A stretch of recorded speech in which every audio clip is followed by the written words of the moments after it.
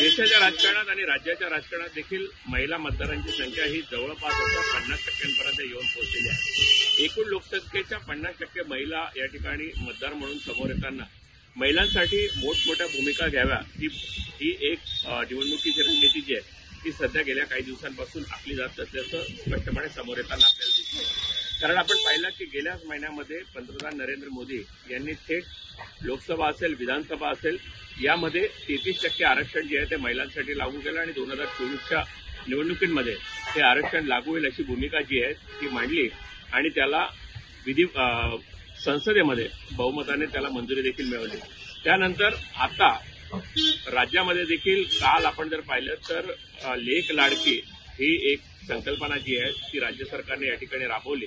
आणि मुलीच्या जन्माच्या वेळी एक निधी जो आहे तो शासन ठेवेल आणि तिच्या लग्नाच्या वेळी तिला एक लाख दहा हजार रुपये तिला मिळतील. अशी ही संपूर्णपणे पद्धतीने ही योजना आहे आणि या योजनेचं इम्प्लिमेंटेशन राज्य सरकारने करण्याचा निर्णय जो आहे तो या ठिकाणी घेतला आहे. तर कुठेतरी एकूण जो महिला वर्ग आहे त्याला खुश करण्याचा प्रयत्न जो आहे तो केंद्र सरकार आणि राज्य सरकारच्या वतीनं देखील केला जातोय.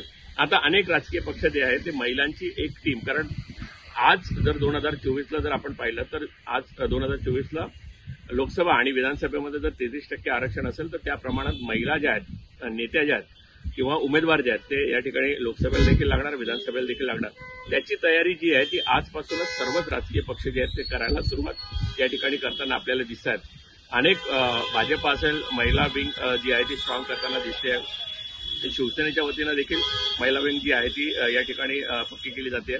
पण आता जर आपण आज पाहिलं तर राष्ट्रवादी काँग्रेसच्या वतीनं शरद पवार यांनी महिला प्रदेश काँग्रेसची जी बैठक घेतली राष्ट्रवादी काँग्रेसची बैठक घेतली आणि या बैठकीमध्ये महिलांना एकूण राजकारणात थेटपणे सक्रिय होण्याचं आवाहन देखील केल्याचं आपल्याला पाहायला मिळत आहे यामध्ये थेट आव्हानच नाही तर अनेक आंदोलनांमध्ये महिलांनी सक्रिय सहभाग घ्यावा. कारण हे सांगताना शरद पवार यांनी एक स्पष्ट केलं आहे की अनेक आंदोलनांमध्ये पोलीस केस होतात म्हणून बऱ्याच वेळा आंदोलनांमध्ये महिलांचा सहभाग जो आहे तो कमी होताना दिसतो. पण शरद पवार यांनी या ठिकाणी स्पष्ट सांगितलं की राजकीय आंदोलनांमध्ये जे गुन्हे दाखल होतात सरकार बदललं की हे गुन्हे आपोआप मागे घेतले जातात किंवा तत्कालीन सरकार जे आहे ते हे गुन्हे मागे घेण्यास एकूण सहमती दर्शवतो. अशा पद्धतीनं आंदोलनामध्ये जरी गुन्हे दाखल झाले तरी ते आपलं सरकार आलं. तरी देखील हे आंदोलनाचे गुन्हे जे आहेत ते मागे घेतले जातात. त्यामुळे महिलांनी सक्रिय आंदोलनांमध्ये आणि एकूणच राजकीय संघर्षामध्ये सहभागी व्हावं ही भूमिका जी आहे ती मांडली आहे. कारण जोपर्यंत महिलांमध्ये एकूण राजकीय संघर्ष असेल किंवा आंदोलन असेल त्यामध्ये मोठ्या प्रमाणावर महिला या ठिकाणी उतरल्या नाहीत तर पुढे एक नेतृत्व म्हणून जे पुढे यायला पाहिजे ते नेतृत्व पुढे येऊ शकणार नाही त्यामुळे अनेक राजकीय पक्ष जे आहेत ते आतापासूनच महिलांचं राजकीय नेतृत्व तयार करण्यासाठी खूप मोठ्या प्रमाणात पुढाकार घेताना आपल्याला दिसतंय. आणि केंद्र पातळीवर असेल राज्य पातळीवर असेल आणि आता पक्षीय पातळीवर देखील ही भूमिका आता सर्वच राजकीय पक्षांनी घेतलेली आहे.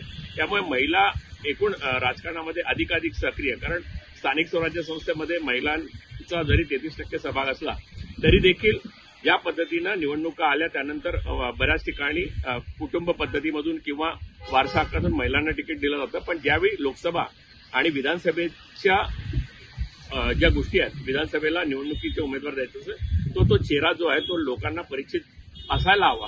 त्यामुळे सर्वच राजकीय पक्ष जे आहेत ते आगामी काळामध्ये म्हणजे दोन हजार चोवीसच्या तयारीमध्ये महिला जास्तीत जास्त कशा पद्धतीने राजकारणात सक्रिय होतील आणि कशा पद्धतीनं महिलांचा जो एक राजकीय नेत्याचा चेहरा जो आहे तो जनतेसमोर जाईल यासाठी प्रयत्न करतायत. आणि त्याचीच बांधणी जी आहे ती सर्वच राजकीय पक्षांनी सुरू केल्याचं आपल्याला या ठिकाणी पाहायला मिळतं